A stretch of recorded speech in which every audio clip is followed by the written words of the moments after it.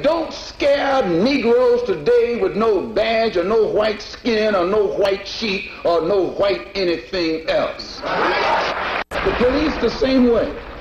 They put their club upside your head and then turn around and accuse you of attacking them. Every case of police brutality against a Negro follows the same pattern. They attack you bust you all upside your mouth, and then take you to court and charge you with assault. What kind of democracy is that? What kind of uh, freedom is that? What kind of social or political system is it when a black man has no voice in court, has no nothing on his side other than what the white man chooses to give him?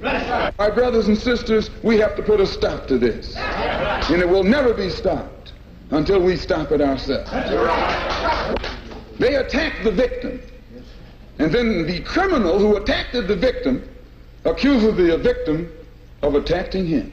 Yes, this is American justice. Yes, this is American democracy. Yes, and those of you who are familiar with it know that in America, democracy is hypocrisy.